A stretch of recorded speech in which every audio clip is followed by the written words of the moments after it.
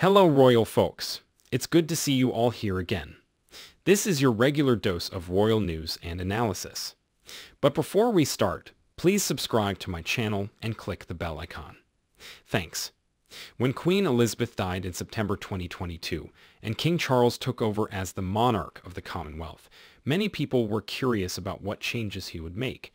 After all, he now has the power to overturn many of the customs, rules, and punishments set forth by his mother. According to reports, a disgraced member of the royal family, Prince Andrew, wasted no time before campaigning to his brother to allow him back into the good graces of the family so he would return to his privileged life as a working royal. While King Charles has made it clear that his younger brother will not be forgiven for his accused crimes, a new report claims that Prince Andrew is planning a fight back. According to an insider, Prince Andrew is going to try and fight his way back into the royal family, his ammunition, that his primary accuser, Virginia Giuffre, dropped a case against American lawyer Alan Dershowitz because she may have made a mistake about her sexual assault allegations.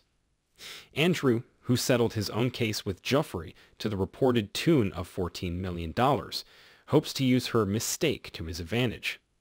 Everything has changed, and Andrew is determined to fight, a source told the Daily Mail. Photos taken this week prove that while Prince Andrew is no longer a working member of the royal family, he isn't a pariah either. The Duke spent a day this week with his sister, Princess Anne, brother, Prince Edward, and other members of the family. The family was shooting photos at Windsor Estate. However, as a non-working member of the family, he still isn't allowed to attend official royal events. He was absent from the Festival of Remembrance this week and the Cenotaph. According to the Mail on Sunday, shortly before the death of his mother, the Duke met with his brother, who informed him there was no way back to the firm, leaving him bereft. Added a friend, There is a feeling Andrew wants to forge ahead with a new life, but the only person who can agree to that is the monarch. It means these conversations will have to start all over again now that we have a new king. So what do you think, guys? Please share your thoughts in the comments. Until then, thanks for watching. We'll see you again with some more interesting news about royal family.